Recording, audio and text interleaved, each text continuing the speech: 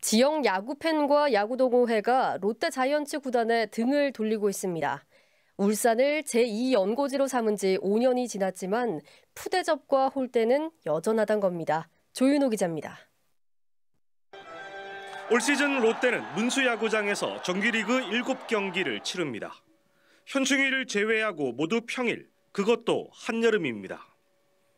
지난 2014년 롯데가 문수구장을 제2구장으로 사용했을 때부터 반복돼 온 푸대접입니다.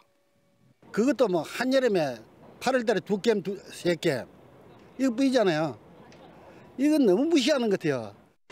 심지어 롯데 연간 회원권은 문수구장에선 쓸 수가 없어 열혈 부산 팬들의 울산 입성을 막고 있습니다.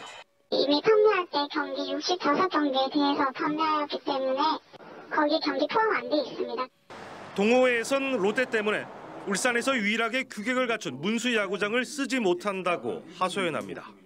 롯데 1군, 2군 경기를 유치함으로써 이제 그 앞뒤로 정비 기간이 그라운드 정비 기간이 너무 깁니다. 길어서 동호인들이 많은 팀 수에도 불구하고 작은 예약 일수를 갖고 경기장에서 빌려야 되니까 아예 지금 문수구장을 약 한 5년간도 써보지도 못한 팀도 많다는 겁니다. 예. 이 때문에 지역 야구계가 올해 초 롯데 대신 경남 NC 제2연고지로 삼자며 집단 행동에 나섰습니다.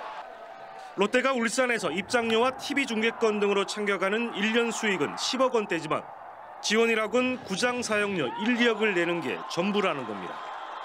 문수야구장에 설치된 전광판 설치비 15억조차도 시금고인 경남은행이 지원했을 정도입니다.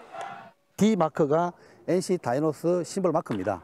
그 NC 다이노스가 5년 전부터 울산 그 제일중학교 울산 공고에 지금 후원을 하고 있고요. 롯데가 필요할 때는 울산을 제2홈구장으로 삼고는 지원에는 인색하면서 야구 팬들은 물론 시민들도 반발하고 있습니다.